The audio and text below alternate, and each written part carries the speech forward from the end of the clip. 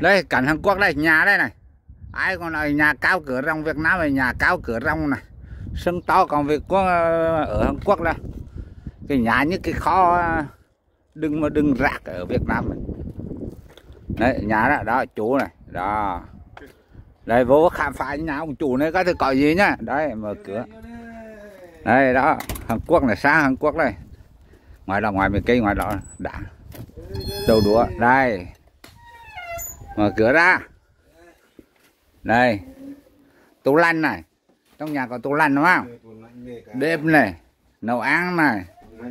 Đó này. Phòng toilet này đây tivi đâu? À tivi đó.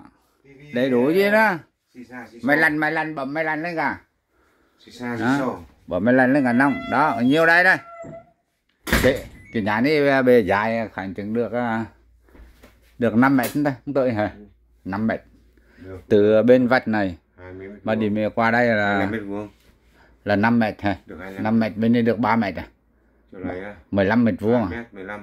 3 năm 15 ha 15 mét vuông ha 15 mét vuông có toilet này có bếp nấu ăn này có tủ lạnh này bàn ăn này để Hàn Quốc.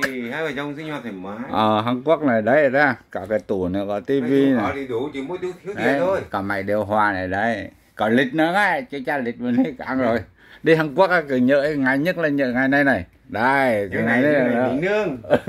Cái ngày nghỉ tháng này ba mốt à? À, có tháng này 31 mà mất ngày. mất ngày rồi nha mất ngày 31 tháng tháng này. trước là đủ à hả thằng trước là 30 đợi Ừ, được ngày thằng đủ. này 31 mất ngày. Đấy. đây Hàn Quốc là nhớ gãy này này cái khâu này này. Đó. Đây đây. Quan trọng cái chăm một cái sổ này không? Sổ này sổ này là sổ đục đắc này. Đó. Thôi bye bye bà con nha